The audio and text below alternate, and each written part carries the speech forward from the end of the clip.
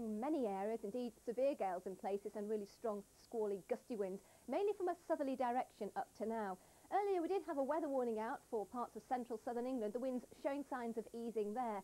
And indeed, across most of England and Wales, the big change overnight will be the winds becoming much, much lighter by morning. The strength of the stormiest weather instead transferring up across Scotland and Northern Ireland. And even in southern regions of these areas, we'll see the winds easing a touch by morning. But we do have weather warnings out for Northern Ireland, the central lowlands and southern areas of Scotland.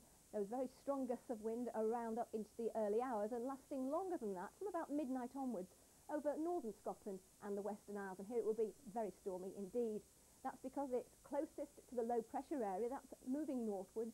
A lot of strong winds and also weather fronts and heavy rain wrapped around it. Here we can see the wraparound of the cloud and rain comes right back in across Ireland. A second bite at the cherry here with that weather front, bringing more heavy showers in across Northern Ireland, northern and western areas of Scotland overnight. Not just rain either, but sleet and snow, most of it in the west, a few showers further east. The main region of wetter weather, though, moving away, at least away from all but the extreme southeastern parts of East Anglia. It will probably still be cloudy with at least a little rain around in the morning. We will see showers following on even into these western areas, and again, it's going to be cold enough up over the hills for some sleet and snow. In fact, watch out because as the winds ease, particularly across central areas, but to some extent in the north too, we'll see some ice and patchy frost forming overnight away from that southeastern region where it will be much milder. The winds easing in the south are still very windy across the north and into tomorrow morning as well. That low pressure will be sliding away, but it'll take some time. So in the morning, still a lot of cloud in the far north of Scotland, giving a lot of snow over the hills.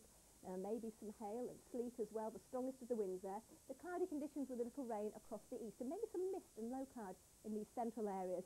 That front moving away, the low moving away. So then we come into bright weather for the east. Lots of heavy showers in the west, the north and near the south coast with some of them popping further eastwards during the daytime. Main thing about tomorrow, not the temperatures, but the fact the winds will be much lighter. Watch out though, a new low